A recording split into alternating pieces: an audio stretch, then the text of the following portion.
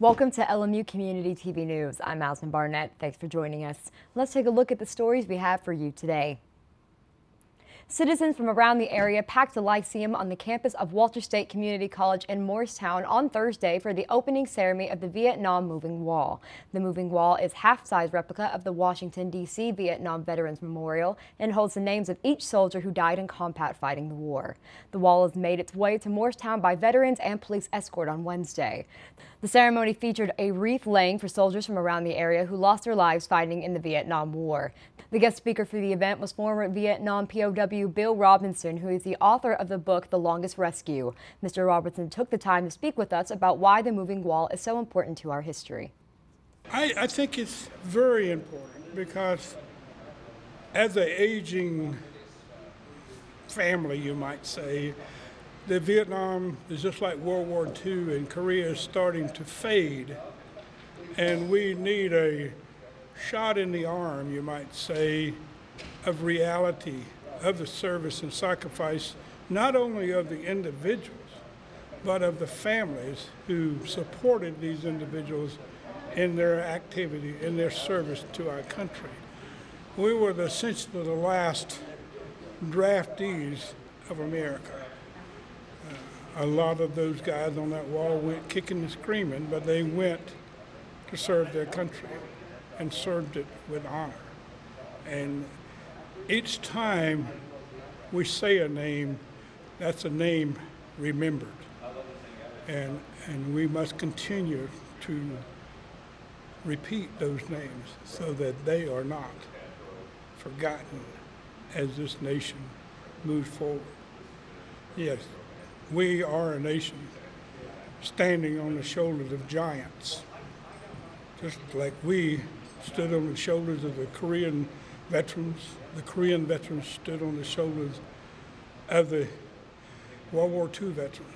And so each generation forward stands on the shoulders of the generations before them that gave the, the ultimate, in many cases, sacrifice for the freedoms that they were striving to maintain for this country. For it was Ronald Reagan who said that freedom is only one generation from extinction. And so we continue to have to have people to step up and stand up for our, our country. Well, it's just not names on the wall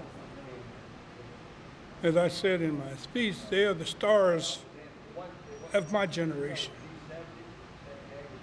People ask me, says, uh, why do you seem happy with such a great loss?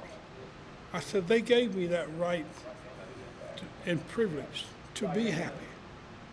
And I would not be serving them well if I wasn't happy. But that's what we all simply service and sacrifice is all about so the next generation or our generation can have something better than what we had. And so our life's goal is to improve what we have, not to destroy and start over. And so, as I said in the beginning, we're continuously standing on the shoulders of giants. Walls open 24 hours a day and will remain at Walters State through Sunday with the closing ceremony beginning at 1 p.m. Carl Green was a man who helped his players not only on the court but off of it as well. That was the message spread by many at the Claiborne County School Board meeting on Thursday. At the meeting, Carl Green's son Lance and Circuit Court Judge John McAfee asked the board considering voting his name to the new Claiborne High School gym in honor of the legendary coach. Several former players spoke at the meeting in support of the move, talking about how Carl Green affected their lives. Green coached for the Blue Devils for 25 seasons to become one of Tennessee's most successful high school basketball coaches. His teams won 17 district titles and he finished his career as Tennessee's fifth winningest coach in Class 2A. 471 of his 586 victories came at Claiborne County. Following the meeting, Lance Green and John McAfee spoke more about Coach Green's legacy and how he affected his players. Oh, he, he meant everything to me. He was uh, was was was a father figure uh, to me. I played on his last two district titles in '82 and '84, and in my senior year in 1984. And he, he just tugged me under his wing and, and taught me that if you worked hard enough, if, if, you, if, you, if you just put forth the effort, you can accomplish anything. And I, I came from a, a broken family. Uh, neither, neither my parents uh, graduated from high school, and, and he instilled in me uh, a work ethic uh, that enabled me to go to college, uh, enabled me to go on to law school, and to, to spend 20 years in the military. I was uh, retired as a military trial judge in, in, in the Army Reserves. When I got elected as General Sessions Judge here in 1998, uh, his inspiration, and, and, and, and, he helped me during that election and, and, and was always a mentor to me, even, even after I left high school. Uh, he pushed me through that election, and then I was elected in 2004 as the Circuit Court Judge.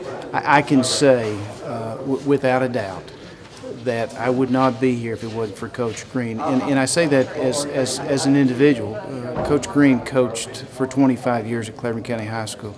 I am just one example of so many people that he helped during that period of time. And, and most of us, uh, most of us that played for him, were, were poor. And uh, it didn't matter who you were, or what your name was, or how, how big your parents' bank account, you had to play. If you could play, uh, you could play for Coach Green. Well, it's important for me, but it's more important for the community at large. I'm talking about the entire Blue Devils, um, the players, the students, the church members, the community. Uh, my father coached for 25 years, taught for 30, and he was a key part of this community. Everything from being the basketball coach to being a Sunday school teacher, Little League programs, summer basketball camps, Cub Scouts, anything that involved the youth, my father was involved in. And uh, he really made it a point where any way that he could help a child, he was always willing to help out. And that was really his goal, his calling. Um, and I think that a lot of people, they understand that. And I think this is a great board, and they're going to do the right thing. And they'll name the school, the gymnasium, uh, after Coach Green in his honor. I could pretty much dribble before I could walk. My earliest memories are me being in that high school gymnasium and being surrounded by athletes and students. We're talking from the 70s with the longer hair, the bell bottom pants, and I just remember um, so much fun that these students and players had and how my dad had a direct influence and impact on their lives. Always trying to do the right thing to help them, not just as being their coach and them being a great player, but just trying to be a positive role model, help them as far as their religious strength, their religious faith. He was always willing to help them get into church, attend church. Uh, he would ever, he was always willing to help a student if they ever needed help. He developed programs if a child did not have the financial means to buy shoes. Um, always just willing to help. And he, he just, it was his calling to be a coach, to be a mentor, and to be around young people, to try to help them. He came from a very, very small community uh, near Hancock County. He grew up poor. And somewhere in his life, someone helped him and gave him an opportunity. And it was his calling to do the same thing, extend the same opportunity to every child. He was not into politics, did not believe in the race issues. He coached for a few years in Morristown during a very difficult time. And in Morristown, desegregation did not occur until 1968. And when my dad came to Claiborne County and began coaching in 66, he didn't ask for anyone's permission. He immediately integrated African American players on the team. And the surprising thing was, no one really cared. Everyone, I guess, respected my father. He had a large family, and uh, it was not an issue. And everything turned out great. And he had a very, very successful career. He enjoyed his life. He enjoyed his time coaching in Claiborne County. They were very, very successful. And it was all because of just hard work, work ethic. They trained hard, they played hard, and he had great kids. And that made a difference. The board will vote on this topic at a later meeting. The Bell County League of Women Voters held the first community forum on Thursday with the candidates running for state representative taking center stage inside City Hall. Republican Adam Bowling and Democrat Dustin Allen placed their focus on growing the community of Bell County and increasing job possibilities. Here to speak on you and why you should elect them to office is Adam Bowling and Dustin Allen.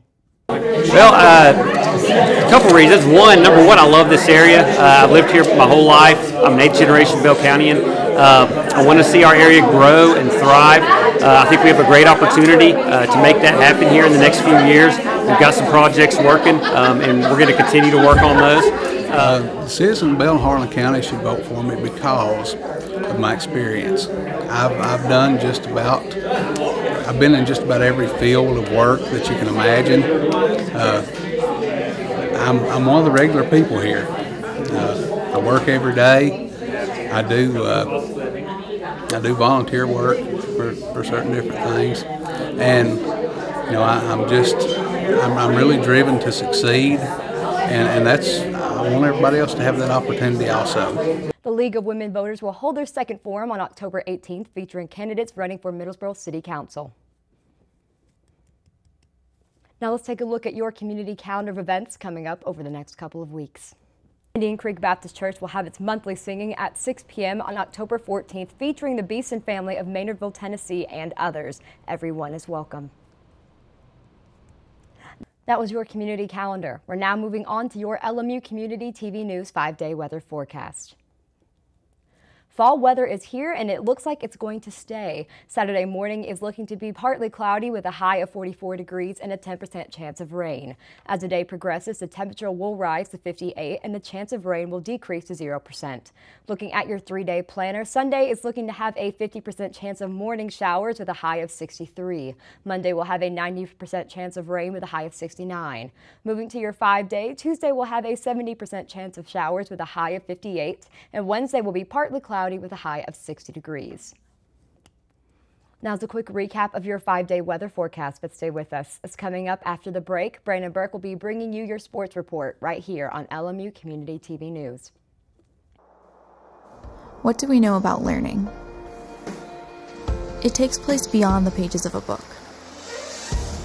We learn by exploring, by trying new things, by connecting by sharing.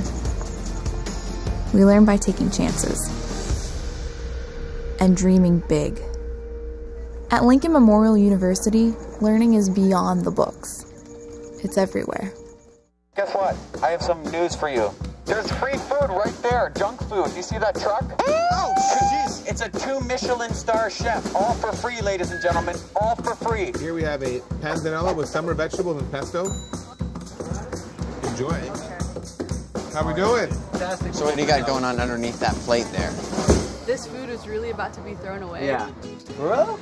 Is there, is there something wrong with this food? Where did you get it from? From farmers markets. They put aside the ugly vegetables and the ugly fruits. Carrot top, soft avocados. It was all food that was going to be discarded. Even the drink you had is made from like a little bruised peach. Did it taste a little bruised? Great. It's good. The average person throws away 24 pounds of food a month. That's a lot. Isn't that a lot? Go visit savethefood.com for more information. Thank you. Junk food time!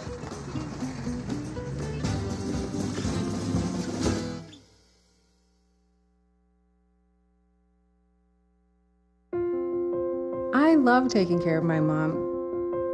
It wasn't easy at first. She learned how to better communicate her needs. And you learned how to not ignore yours. I discovered how to make healthier meals. And I discovered how much I enjoyed them. Becoming a caregiver is a learning experience for everyone. Find articles, tips, and tools from experts and others who have been in your place. The Caregiving Resource Center at aarp.org/caregiving. Hi, I'm Dr. Shields, and I'm a physician and the medical director at LMU Medical Clinics. This is a brief announcement about keeping LMU and you healthy during the upcoming flu season.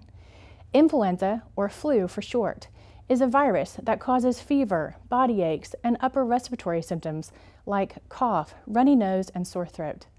It is transmitted through the air and can even be spread on objects touched by someone who has the flu. The virus spreads easily from person to person and is most active from October through March. There are three things you can do to prevent becoming ill with the flu.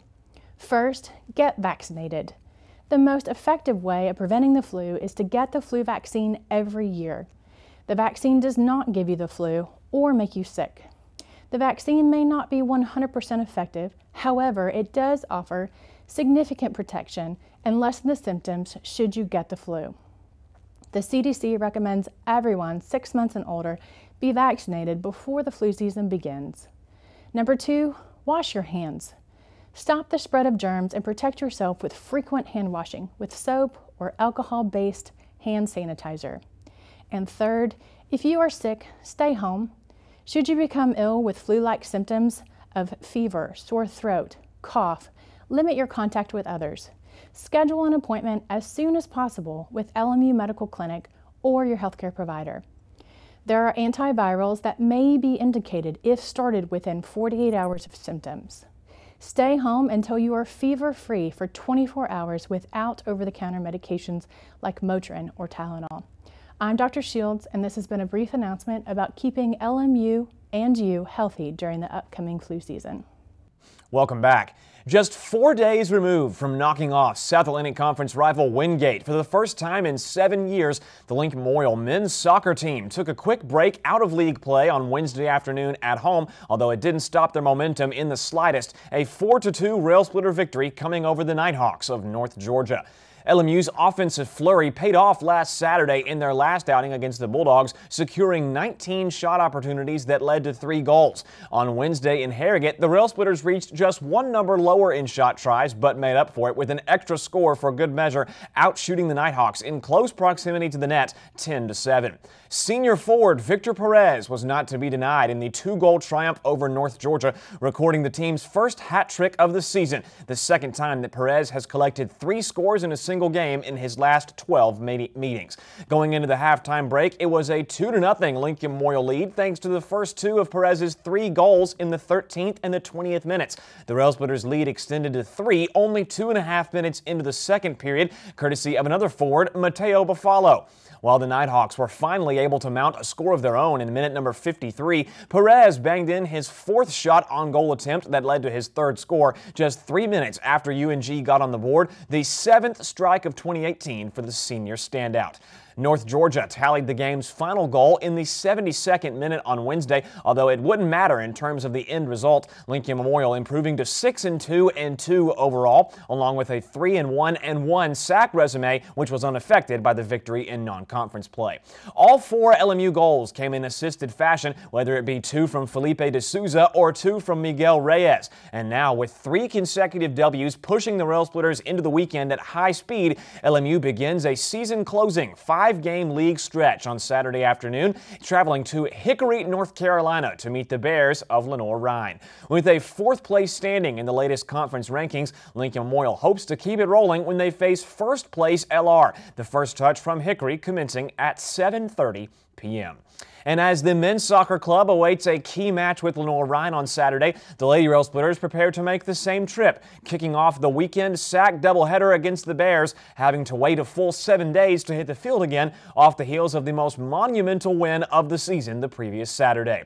Each of the last 12 times Lincoln Memorial faced off against the Wingate Bulldogs, the Lady Rail Splitters couldn't get the monkey off their back, falling time and time again until the streak was broken in 2018. LMU pulling out a thrilling 1 1-0 double overtime victory, their second in a row overall. And what was the definition of a defensive slugfest? It was a combined 35 shots between the two conference rivals without a score. That is until Itzel Ballesteros put the game and the 12-game losing streak to Wingate to bed, receiving an assist from Michaela Vang in the 106th minute, making LMU 7-3 overall 3 and 2 in league action, finalizing their sixth win via shutout this season alone.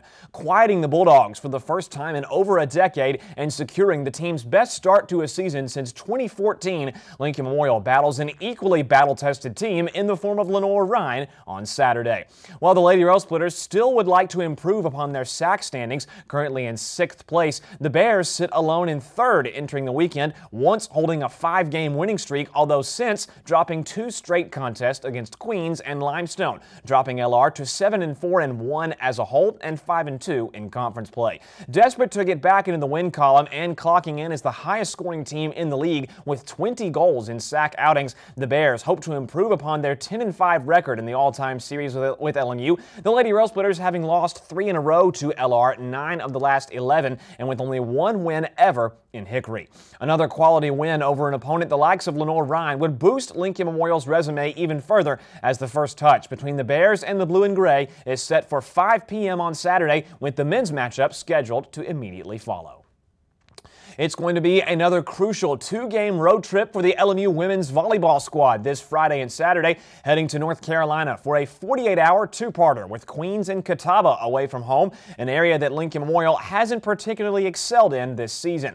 Last weekend, the Lady Rail Splitters disposed of the Coker Cobras in a straight sets victory before competing hard against the juggernaut Wingate Bulldogs the next afternoon, falling in the end in four sets, the only time in 2018 LMU has tasted defeat in Harrogate. It was back to their winning ways on Tuesday, however, completing the three-game homestand by besting in-state rival Carson Newman three sets to one, moving to 10 and 6 overall with a 6 and 4 South Atlantic Conference distinction, good enough to land sole possession of fourth place in the latest league standings. The only blemish on LMU's reputation in 2018 is their 1 5 record when playing either on the road or on a neutral court. And on Friday and Saturday, Lincoln Memorial looks to turn the tide against two teams below them in the conference rankings. For the Royals of Queens, who are seventh in the league, it's been a roller coaster season, winning the first four, losing eight of the next 10, winning three in a row, and most recently losing back to back matches for a grand total of nine wins next to 10 losses, a 5 and 7 conference distinction.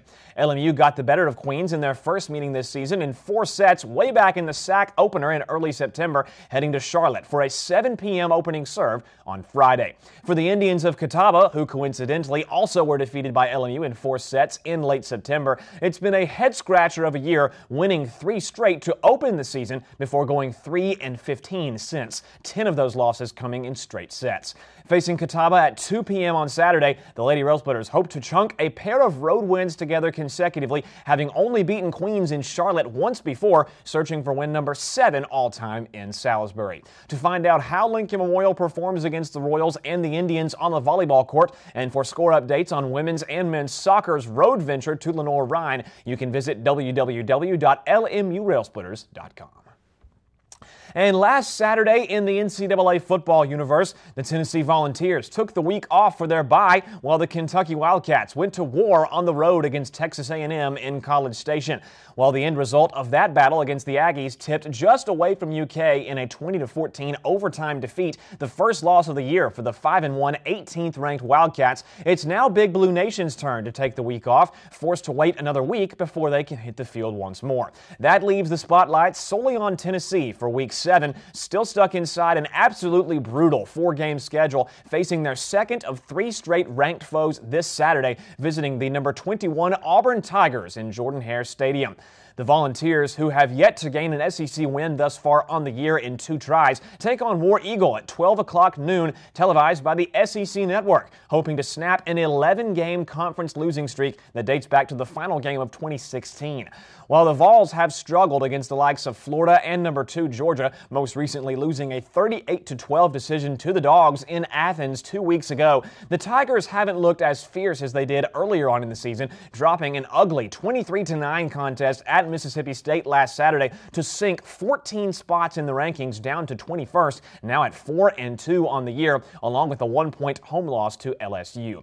With the Auburn offense struggling and the Tennessee defense thriving, touchdowns may be hard to come by in this weekend's SEC battle as the Vols search for a signature win on the road with top ranked Alabama looming in the following seven days. And then only six more races remain in the 2018 NASCAR Monster Energy Cup Series playoff. And after Chase Elliott snuck into first place in the standings thanks to a victory lane run through at Dover last Sunday, drivers will roll into the famous Talladega Superspeedway this weekend for the 1000bulbs.com 500. As Elliott zoomed past Denny Hamlin and Joey Logano in the Gander Outdoors 400 a week ago, the number nine vehicle leaped Kevin Harvick and Kyle Busch in the chase standings to seize the first place position. Martin Truex Jr. and Logano closing out the top five. While Harvick and Busch were far and away the two most impressive drivers throughout the regular season, they haven't made much noise in the playoffs up to this point, leaving Elliott to hold the number one spot. Kurt Busch, Brad Keselowski, Ryan Blaney, Aric Almirola, and Clint Bowyer sit as the rest of the top 10, awaiting the green light from Talladega as drivers will start their engines for the 1000bulbs.com 500 on Sunday at 2 p.m. And you can catch the action on television through NBC. And that is all for sports entering the weekend, but stay tuned as more LMU Community TV news is headed your way right after this. So, so we, we were walking to school. I started thinking about lunch. Mom pat me turkey and cheese. She's smart. I really smart. want cheese pizza. Sometimes her mind wanders. We should have a sleepover. I remember saying, Laura? I think I heard Mom say something. The sign says don't walk. Sometimes it's so overwhelming. I really hope she doesn't I have really another hope I bad don't day have at another school bad day at today. school today. When you can see learning and attention issues from their side, you can be on their side. Go to understood.org, a free online resource with support and tools to help your child thrive. Here we go. Here we go. We're gonna go out there in the rain. Gonna get wet. All right, here we go.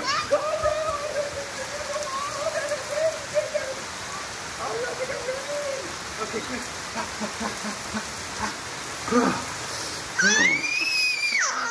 Oh yeah, yes. So much fun. Mwah. Yeah, We're getting so wet. Oh, just-